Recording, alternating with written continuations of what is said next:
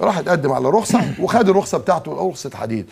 ها؟ ولما نفس القاضي حكم في قضية بسمة وعمرو حمزاوي اللي كان عامل لي أنا استجواب لوزير الداخلية عمرو حمزاوي ها؟ بتاع أبو بتاع ها؟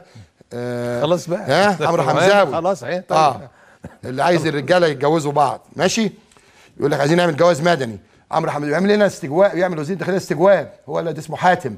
إزاي مرتضى منصور ما اتقبضش عليه؟ طب ما هو نفس القاضي يا أستاذ عمرو. ها لما حضرتك في طريق الف... الواحات بعد الف... بعد الفجر في... كنا في رمضان خلاص يا في العربية خلاص يا. بالليل ها وال... والولدين سرقوا موبايل خدوا مؤبد بنفس القاضي وقعدت ترقص ارقص يا حمزاوي ها وبقيت فرحان. هو إحنا يا أستاذ الفاضل بننقي؟